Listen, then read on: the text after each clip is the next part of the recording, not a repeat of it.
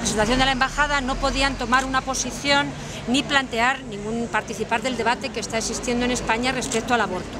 pero sí nos han escuchado con muchísimo interés, nos, han dicho, les hemos entregado unas 220 firmas, eh, les hemos entregado, ellos han dicho, ellas han dicho que por supuesto lo harán llegar al embajador y que el embajador lo hará llegar a su vez al gobierno francés.